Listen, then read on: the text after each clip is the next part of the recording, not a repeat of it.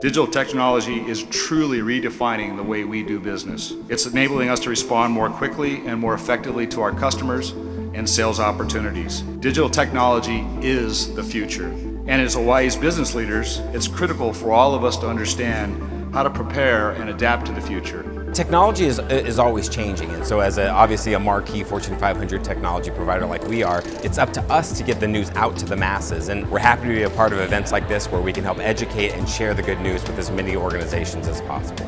Events like this are really nice for us because, you know, being on from the outer islands, you know, we don't have access to convention center where, you know, you have events like this where you have a number of vendors come together all in one place.